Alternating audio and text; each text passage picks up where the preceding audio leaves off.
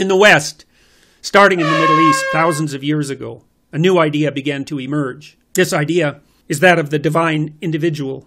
You see the emergence of the idea of the divine individual as, as part of divinity itself. Our free societies, or the free societies of the world, are predicated on the idea of the sovereign individual. The West has long been the civilized embodiment of the idea of the divine individual.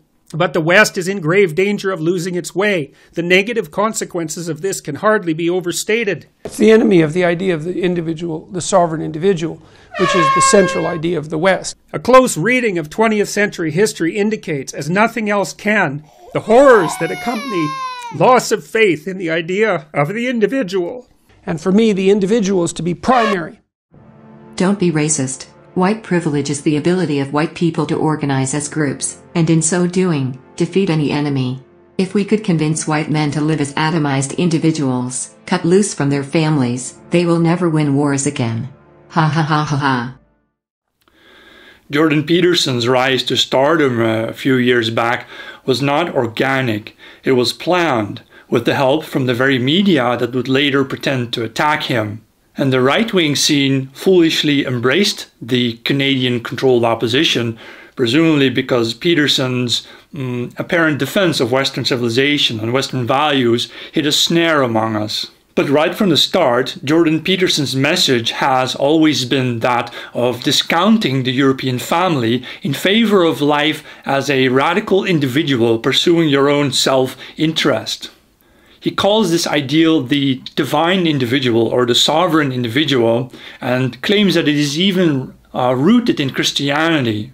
It turns out that Jordan Peterson's message is that of a radical feminist, such as, for example, uh, Shulamith Firestone, who believed in the deconstruction of the Western family a man afraid of being one, Peterson apparently believes in the liberation of women from the childbearing family life that is supposedly oppressing them, and that uh, women rather than men should be allowed to pursue their material self interests uh, this in itself contains a red herring argument since men who start families are just as well bound to family life as the women are, men perhaps more as providers and defenders, and women as nurturers and caretakers.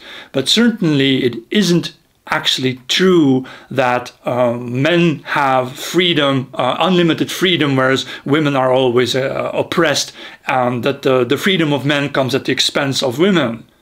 And to realize this fantasy of feminist liberation, Jordan Peterson uh, has been acting sort of as the sheep in wolves' clothes, uh, only here to infect us with foot and mouth disease. Uh, his intention is to break down Western social structures, including our nation, including our race, which are all based on uh, group ties, uh, uh blood-bound ties between family members and, and related peoples. So he wants you to believe that it has always been European tradition to to worship the individual as some kind of sovereign entity. And even though he also admits that this ideal in the uh, sovereign individual, the divine individual, was not actually invented in Europe, but rather in the Middle East, not a place people normally think of when we speak of the West. Peterson and his allies then uh, are no strangers to falsifying uh, our Western European history. Uh, one of his allies appears to be Ricardo Duchesne, a Puerto Rican born, now American citizen, who wrote several books that have also drawn large uh, right wing audiences, such as um, The Uniqueness of Western Civilization and Faustian Man in a Multicultural Age. And the titles alone uh, speak to me. These are the sort of books I would want to read, except Duchesne falsely claims that this hyper individualism that Jordan Peterson promotes was somehow always a European ideal, always part of the European peoples. But it wasn't. Students of European uh, old literature, such as the old Norse sagas or extant Germanic literature, uh, show a very different story. Though it's true that Europeans have an idea of individualism, but if you read the Icelandic sagas, you'll find that the sort of individuals who become heroes, they do so precisely because they are being supported by a family. All the old European heroes believed that they were fighting for something, for their families, and never just in their own self interest, never for their own economic advancement. European peoples and their offshoots have simply never regarded themselves atomized individuals as Jordan Peterson would want you to be, as though we were mere uh, uh, playable characters in a video game where we can uh, give ourselves a new identity each morning we wake up. Now, men like Peterson and Duchesne have, in some way, truly confused the, the thinking of the, of the Western right wing scene.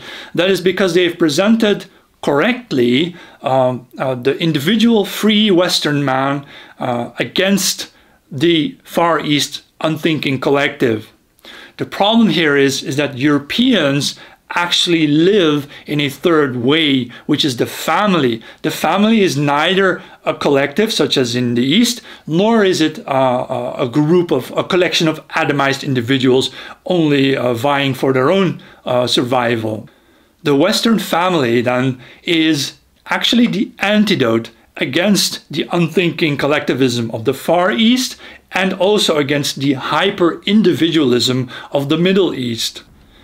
But since Jordan Peterson can only reason from his own Middle Eastern perspective, he misses the point, or rather, both of them. Uh, I'll read these to you. One, long before the arrival of Judeo Christianity, Europeans traditionally counted among their ranks unique and strong personalities. The Babylonians did not need to invent European individuality for us. Rather, Europeans already had it naturally. And two, the European individual does not suffer from a boundness to an all encompassing whole, such as the nation or a faith, this doesn't drag him down. Rather, he rises to astonishing heights precisely because his kinsmen are there to support him. And in return, of course, we as individuals support our kin. Anybody who thinks that a European individual can somehow find strength in his own atomization to, to live as a, a lone narcissistic individual will find out that you are building a house on quicksand. It doesn't work that way. Moreover, ancient Europeans worried more about what their ancestors might think of their actions today uh, rather than the fame that their descendants might carry forward the thing that mattered most to an ancient European was um, how well his forebears would think of him upon his arrival in the afterlife. The forebears would want to know Did you fight for your people? Did you defend the honor of your kinsmen? Or did you merely live for yourself, as Jordan Peterson recommends?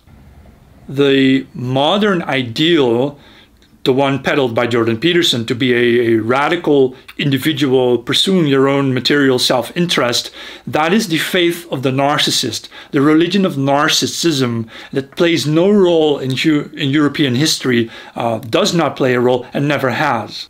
European man's highest ideal is to be welcomed into the afterlife and to be embraced by one's ancient family. It is through our blood ties that Europeans can live free, and herein lies the greatest threat to the collective of atomized individuals. For if Europeans stand ground together, if we join together in the fight against collective individualism, then we will win.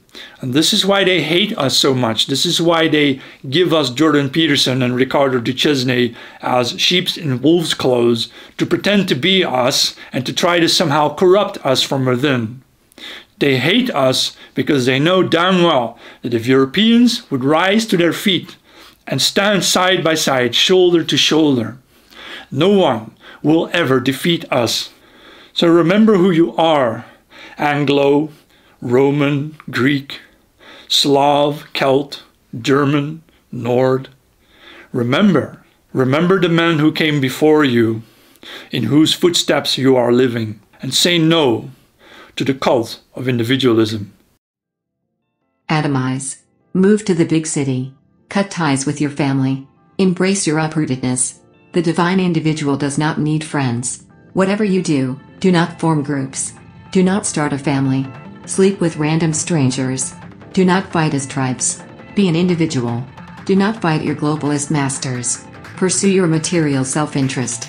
Be selfish. Buy more stuff. Do not resist. Don't be racist. Pride in European tradition, like 12, 12 rules. Uh, which one do you find the hardest to follow yourself? Probably uh, the hardest one is to tell the truth or at least not to lie.